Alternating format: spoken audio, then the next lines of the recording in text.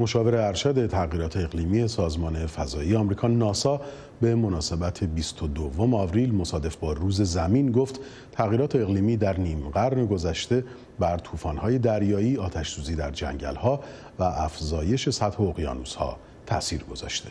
مهدی آرمی گزارش می‌دهد.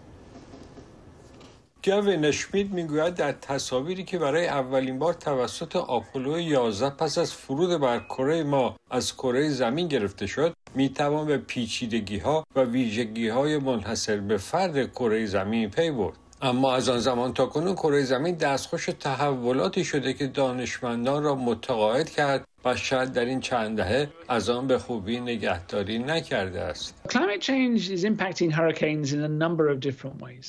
تغییرات اقلیمی از چند جهت بر طوفان‌های دریایی تأثیر می‌گذارد. به نظر می رسد فصل طوفان‌های دریایی طولانی تر شده است زیرا به علت گازهای گلخانه‌ای دمای اقیانوس‌ها و اقیانوس اطلس برای مدت بیشتری گرم هستند به گفته اشمیت خوشسالی های ناشی از گرمتر شدن کره زمین موجب افزایش آتش سوزی ها در جنگل ها می شود. اشمیت همچنین می‌گوید با گرمتر شدن کره زمین یخهای ارتفاعات کوهستانی و یخچالهای طبیعی آب می‌شوند و در نهایت به اقیانوس ها سرازیر می‌شوند. بی جهت نیست که به گفته او نرخ افزایش سطح آب دریاها در یکصد سال گذشته بی سابقه بوده است. اولین روز سالانه کره زمین به ابتکار گیلورد نلسون سناتور فقید آمریکایی در سال 1970 برگزار و به تشکیل سازمان حفاظت از محیط زیست ایالات متحده آمریکا منجر شد.